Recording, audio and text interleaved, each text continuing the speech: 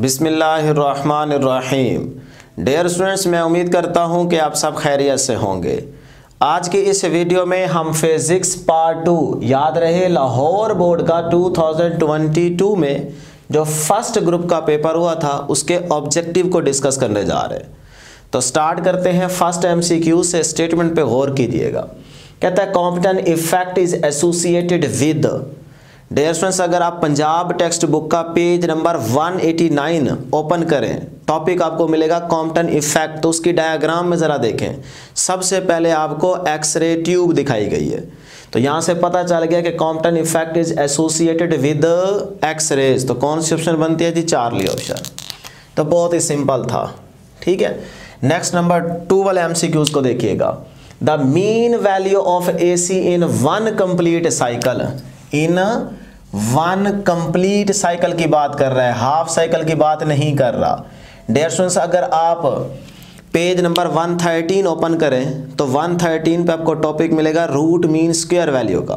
तो उसके first paragraph में ग्राफ से ऊपर, अगर चौथी, पांचवी लाइन में आप ज़रा गौर करें तो आपको यही स्टेटमेंट मिलेगी। सिर्फ़ वहाँ पे होगा दी एवरेज वैल्यू यहाँ पे लिखा हुआ है मीन वैल्यू तो इस लाइन को पढ़ें तो साइकिल इज़ आगे लिखा हुआ है ज़ीरो तो ऑप्शंस पे ज़रा गौर करें, कौन सी ऑप्शन बनती है? बीटा ज़ीरो तो ज़ीरो को आप बुक में ही सर्कल कर लें और वहाँ पे मेंशन कर लें कि ये बोर्ड का एम सी क्यूज़ है। ये मैं साथ साथ पेज इसीलिए बताता जा रहा हूँ ताकि आपको पता चले कि टॉपिक में से या पैराग्राफ में से किस तरह से एम सी क्यूज़ बन के आ सकता है बोर्ड में। ये आपकी प्रैक्टिस हम करवा रहे हैं, ठीक है? ताकि आपको कॉन्फिडेंस आए ना कि भाई हाँ हम जो टॉपिक पढ़ते हैं उससे इस तरह से एम सी क्यूज़ पूछा जा सकता है।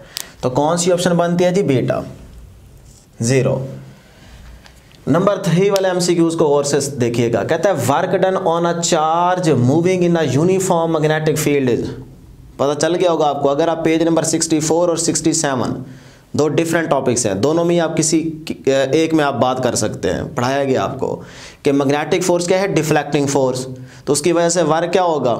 ज़ीरो। और वैसे अगर आप मैथमेटिकली देखना चाहें तो आपको याद होगा किसी भी पॉइंट पे अगर आप चेक करें तो जो डेयर स्टूडेंट्स आपके पास वेलोसिटी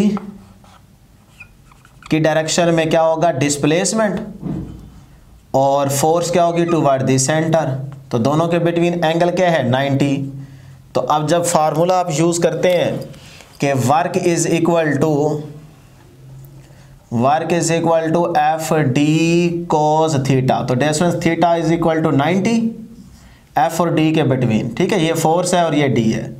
तो दोनों के बिटवीन एंगल 90 है तो कोज 90 ज़ीरो हो जाएगा वर्क क्या हो जाएगा? वर्क हो जाएगा ज़ीरो। तो इस तरह से आपके पास कौन सी ऑप्शन बनती है जी? ज़ीरो की। अल्फ़ा ऑप्शन नंबर फोर वाले एमसीक्यूज को देखते हैं। द बुलियन एक्सप्रेशन या equation of NAND gate is dear students अगर आप पेज नंबर 169 ओपन करें चैप्टर नंबर 18 का तो वहाँ पे नैंड गेट की आपको बुलियन इक्वेशन मिल जाएगी X is equal to A dot B की बार। तो चार्ली ऑप्शन आपके पास करेक्ट ऑप्शन है। ये तो सिंपल है। Next M C Q the most common source of alternating voltage alternating voltage जैसे अल्टरनेट का नाम आया तो आपको पता चल गया कि भाई ये क्या है? जनरेटर तो चार्ली ऑप्शन को आप सिलेक्ट कर लें। नंबर सिक्स का एम सी क्यूज़ कहते हैं the space between the plates of the capacitor dear students अगर हमारे पास ये कैपेसिटर है तो वो कह रहा है जी कैपेसिटर की प्लेट्स के बिटवीन जो स्पेस है is filled by is filled by die electric of dielectric constant K के the capacitance of the capacitor तो डेयर स्टूडेंट्स आपको याद होगा कि जब भी आप कैपेसिटर की दोनों प्लेट्स के बिटवीन कोई डायलैक्ट्रिक यूज़ करते हैं तो कैपेसिटेंस बढ़ जाती है इंक्रीज हो जाती है। फार्मूला याद है ना कि C medium is equal to A epsilon naught epsilon R divide by D तो ये क्या है? रिलेटिव परमिटिविटी यहाँ पे डायलैक्ट्रिक यूज़ करेंगे, उसकी जो भी करेंगे, उसकी वैल्यू आपको गिवन होगी। टेबल आपने याद किया होगा। तो इसका मतलब अब ये क्या है? के है। तो यहाँ पे जब के आएगा तो के का सी के साथ क्या रिलेशन है? डायरेक्ट ऊपर है ना, अगर डिनोमिनेटर में होता तो इसका मतलब नीचे वैल्यू बढ़ जाती है, वो चीज़ कम हो जाती है। लेकिन ये तो ऊपर है। तो डायरेक्ट रिलेशन है। तो इसके आने से, यानी कि यहाँ पे अगर मैं लिख दूँ के तो के के आने से ये वाली चीज़ के टाइम इंक्रीज हो जाएगी ना तो इंक्रीज बाय फैक्टर के सही है? तो कौन सी ऑप्शन बनती है जी? अल्फ़ा ऑप्शन बनती है। ये page number twenty three, chapter number twelve का पेज नंबर ट्वेंटी थ्री पे आपको ये टॉपिक मिलेगा, वहाँ से एमसीक्यू लिया गया कैपेसिटर वाला। ठीक है जी? Next dear students number seven number seven को देखिएगा जी। Alpha particles carries a charge of dear students सबको पता है कि अगर अल्फ़ा पार्टिकल की बात कर रहे हैं तो अल्फ़ा पार्टिकल पे चार्ज क्या होगा? प्लस का टू ई चार्ज की बात कर रहा है तो क्या होगा? Plus two E page number dear students two thirty four open कर लें। लास्ट चैप्टर ट्वेंटी वन का। तो वहाँ पे एक टेबल आपको नज़र आएगा। उस टेबल में आप अल्फ़ा पार्टिकल के चार्ज को भी देख सकते हैं प्लस टू ई और उसके बाद अगर आप बीटा में देखें तो वो आ जाएगा प्लस माइनस ई इसी तरह फिर एंड वाला गैमा देखेंगे तो वहाँ पे होगा नो चार्ज ठीक है नो चार्ज और अल्फ़ा पार्टिकल से मुराद क्या है? हीलियम टू फोर तो इसमें देख सकते हैं आप चार्ज की वैल्यू क्या है? चार्ज की वैल्यू है जी प्लस टू ई ठीक है? तो ये आपके पास अल्फ़ा ऑप्शन है। तो इससे आपको दो तीन, बल्कि चार एमसीक्यूज मिल सकते हैं। क्लियर अच्छा जी, उसके बाद नंबर एट नंबर एट है जी unit of self inductance self inductance का unit dear students page number 94 open कर लें। चैप्टर नंबर 15 में पेज नंबर 94 तो जो आपको 94 पे फ़र्स्ट पैराग्राफ मिलेगा। यानी कि एन डी है टॉपिक का उस पैराग्राफ दो पैराग्राफ है 94 पे एग्ज़ाम्पल से ऊपर। तो उसका जो पहला पैराग्राफ है, उसकी लास्ट लाइन को ज़रा गौर से पढ़ें। बिल्कुल यही कि यही लिखी हुई है। Unit of self inductance is also called ये लफज होगा वहाँ पे। तो क्या है? हेनरी हेनरी क्या है? सेल्फ इंडक्टेंस का यूनिट है। तो देखें किस तरह से आपको पता चल रहा है कि भाई बुक से ही एम आएँगे। कहाँ कहाँ से बनाए जा सकते हैं, ये आप ज़रा गौर कर लें। ठीक है, आपको पता चल जाएगा। तो बीटा ऑप्शन आपके पास करेक्ट ऑप्शन है। उसके बाद डेयर स्टूडेंट्स नंबर नाइन कहता है लाइट एमिटिंग डायोड्स एलईडी की बात कर रहे हैं आर मेड फ्रॉम सेमीकंडक्टर भाई सिलिकॉन जर्मीनियम तो नहीं हो सकता, ये तो ऑर्डिनरी है। तो कौन सी ऑप्शन है जी? गैलियम अर्जेनाइड की। तो ये आपको पेज नंबर 156 या 157 पे डेयर स्टूडेंट्स आपको एलईडी का टॉपिक मिलेगा चैप्टर नंबर 18 में। तो आपके पास कौन सी ऑप्शन बन दिया जी? चार्ली ऑप्शन ये भी सीधी सीधी देखिए ना, कोई इसमें आपको समझाने वाली बातें नहीं है। या आपने सीधी सीधी लाइनें पढ़ी हुई हैं टॉपिक्स के अंदर। इसीलिए हम आपको बताते जा रहे हैं। साथ साथ पेज मेंशन कर रहे हैं, ताकि वो स्टूडेंट्स जिन्होंने अभी तक पेपर सॉल्व नहीं किए, उनको ये भी पता चल जाए कि भाई, ये वाले एम सी क्यूज़ कहाँ से लिए गए किस टॉपिक से और किस तरह से बनाया गया है? ताकि उनको थोड़ा सा पता चले और वो अच्छे तरीके से तैयारी कर सके। ये आपका फ़ायदा होगा मेन टाइम हम लगा रहे हैं, ठीक है? आपको बना के चीज़ दे रहे हैं, बस आपने तैयार करनी है।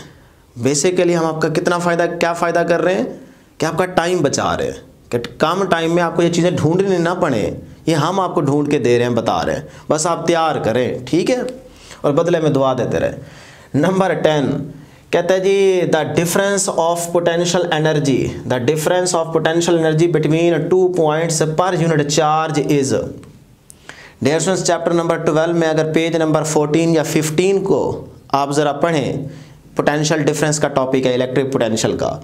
तो उसमें जो ईसीजी e का ग्राफ है ना, उस ग्राफ के बिल्कुल सामने वाला जो पैराग्राफ है, उसकी तीसरी लाइन पर ज़रा गौर करें। वो यही लिखी हुई है। बस थोड़ी बहुत स्टेटमेंट आगे पीछे हो सकती है अल्फाज, लेकिन बात यही लिखी हुई है। ईसीजी e के वाला जो पैराग्राफ है फॉर योर इन्फॉर्मेशन का या डू यू नो वाला, उसके बिल्कुल सामने वाले पैराग्राफ की तीसरी लाइन पढ़ें ज़रा।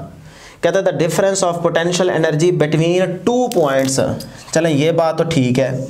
ये तो इलेक्ट्रिक पोटेंशियल में भी होती है, ठीक? लेकिन ये जो बात आ रही है ना between two points per unit charge इसका मतलब बिटवीन टू पॉइंट्स कह दे तो ये पोटेंशियल डिफरेंस बनेगा। ये इलेक्ट्रिक पोटेंशियल नहीं है एब्सोल्यूट पोटेंशियल नहीं है, वो तो फिक्स पॉइंट पे होगा ना। तो फिर अल्फ़ा ऑप्शन नहीं बीटा पोटेंशियल डिफरेंस बिल्कुल। एब्सोल्यूट का मतलब भी वही है, ठीक है एट अ पॉइंट तो ये बीटा ऑप्शन आपके पास करेक्ट ऑप्शन है। नेक्स्ट है जी नंबर इलेवन कहते हैं number of crystal systems are dear students the number of crystal systems are ये बड़ा इंपॉर्टेंट है। बच्चों को ये एमसीक्यूज जो है, ये नज़र ही नहीं आता कि कहाँ पे है। चैप्टर नंबर सेवनटीन ओपन कर लें, जहाँ पे आपको बल्क मॉडुलस यंग मॉडुलस ये टॉपिक्स नज़र आएँगे। सही है? मॉडुलस ऑफ़ इलास्टिसिटी का। तो उसकी साइड में लिखा हुआ है do you know page number 139 बनता है ये। तो उस पर देखें डू यू नो का जो चार पाँच लाइनें लिखी हुई हैं, और पहली पहली लाइन को पढ़ें, और नीचे आपको सेवन डायाग्राम नज़र आएँगे। हेक्सागोनल की क्यूबिक की, ठीक है? तो इसकी जो पहली डू यू नो की पहली लाइन है, वो क्या है? उसको पढ़ें ज़रा। वो है the number of crystal systems are seven देखें ज़रा, करें बुक ओपन सही है? तो वहाँ से एमसीक्यू लिया गया है। Number of crystal systems are seven Charlie option आपकी करेक्ट ऑप्शन है। नंबर ट्वेल्व कहते हैं current flowing through each resistor each resistor current अगर फ्लो कर रहा है through each resistor of equal resistance ये ये ये चीज़ बड़ी इंपॉर्टेंट है। Equal resistance is in parallel combination अब बच्चे यहाँ गलती करते हैं, क्या? वो पैरेलल कॉम्बिनेशन को देखते ही समझ आते हैं कि भाई सीरीज़ में तो करंट सेम रहता है और पैरेलल में करंट डिफरेंट वोल्टेज सेम याद होता है ना उनको? लेकिन यहाँ पे देखें क्या कह रहा है वो? Equal resistances in parallel combination तो अगर रेजिस्टेंसेज इक्वल हैं तो फिर करंट भी तो क्या रहेगा? सेम रहेगा। V is equal to I R है ना? तो R की वैल्यू अगर सेम तो इसका मतलब I भी सेम सही है? हाँ फिर वो डिपेंड करेगा V पे। तो वो तो आपने जो भी वोल्टेज अप्लाई की होगी फिक्स की होगी ना? तो उसको तो आप चेंज कर ही नहीं रहे। तो बहरहाल जी इक्वल रेजिस्टेंस की अगर बात कर रहे तो फिर कौन सी ऑप्शन बनती है जी? चार्ली ऑप्शन सही है? नेक्स्ट डेयर स्टूडेंट्स थर्टीन कहते हैं जी इन इलेक्ट्रॉनिक ट्रांजिशन बड़ा इंपॉर्टेंट है। In electronic transition atom can not emit there students देखें इलेक्ट्रॉनिक ट्रांजिशन ट्रांजिशन का जैसे ही नाम आया तो आपको पता चल गया कि chapter number twenty inner shell transition तो ये टॉपिक ओपन करें चैप्टर नंबर ट्वेंटी का ट्रांजिशन वाला टॉपिक इनर शेल ट्रांजिशन इस टॉपिक का जो पहले थ्री लाइंस है ना, उसको गौर से पढ़ लें। तो उन थ्री लाइंस में ये लिखा होगा कि एटम जो है ना, वो एमिट करता है इंफ्रारेड रेडिएशन विजिबल और अल्ट्रावायलेट तो ये तीन तो करता है ना ये ये वाली तीन तो करता है। ठीक है? इलेक्ट्रॉनिक ट्रांजिशन में एटम इमिट करता है। यहाँ लिखा हुआ है कैन नॉट एमिट तो पीछे कौन सी ऑप्शन बनती है जी? चार्ली गैमा भी देखिए गैमा की बात कर रहे हैं ना तो उसका तो दूर दूर तक ताल्लुक ही नहीं है इलेक्ट्रॉनिक ट्रांजिशन के साथ। सही है?